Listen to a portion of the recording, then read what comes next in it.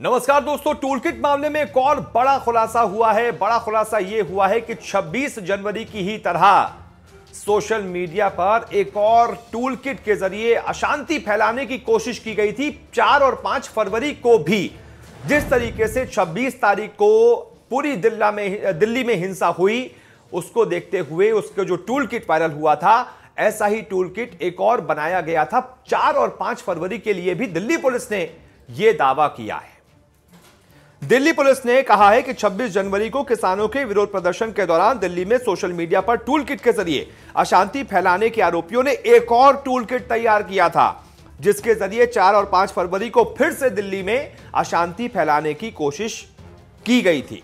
इस दूसरी tool kit में भी वही हैशटैग और सोशल मीडिया की मदद से शांति भंग करने की कोशिश की थी, लेकिन इसमें वो कामयाब नहीं हो पाए।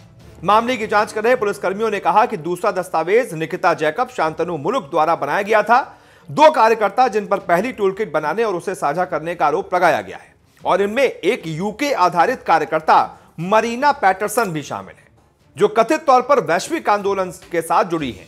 मरीना पर एक्सटेंशन रेबेलियन नामक अंतर्राष्ट्रीय आंदोलन से भी जुड़ने का आरोप है। मामले से जुड़े एक दूसरे पुलिस अधिकारी ने यह बताया कि दूसरी टूल किट में जिस योजना का ज़िक्र था, उसे पूरा नहीं किया जा सका। हमें इस बात का संदेह है कि इसका कारण था कि पहली ही टूल किट गलती से स्वीडिश जलवायु कार्यकर्ता ग्रेटा थनबर्ग द्वारा तीन फरवरी को ट्वीट कर दिया गया था और दिशा रवि ने इस टूल किट को ग्रेटा के साथ साझा किया था।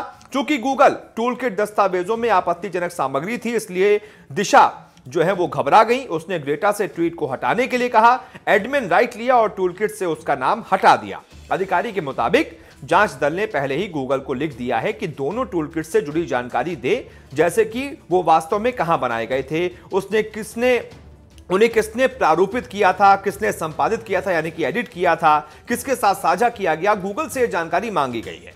आपको बता दें टूलकिट मामले में बॉम्बे हाईकोर्ट ने संदिग्ध आरोपी और निकिता जैकब को बुधवार को ही ट्रांजिट अग्रिम जमानत भी दे दी है। पूरा मामला तब ये बढ़ गया था जब एनवायरमेंटल एक्टिविस्ट ग्रेटा थनबर्ग ने अपना समर्थन जताते हुए हर ट्विटर पर हर ट्विटर यूज़र के लिए जो ट्वीट किया था उसमें एक टूल किट साझा कर दिया था गलती से। बस वहीं से यह खुलासा हुआ था। और फिर उस मामले में दिशा रवि निकिता जैकब मुल्क को संदिग्ध आरोपी के तौर पर देखा जा रहा है।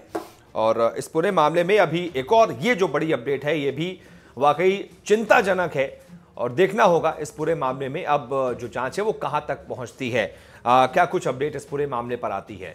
आपको बताएँगे जैसे कोई और अपडेट आती है। फ़िलहाल इस खबर पर आपका क्या रिएक्शन है, बताइएगा ज़रूर। बहुत बहुत शुक्रिया।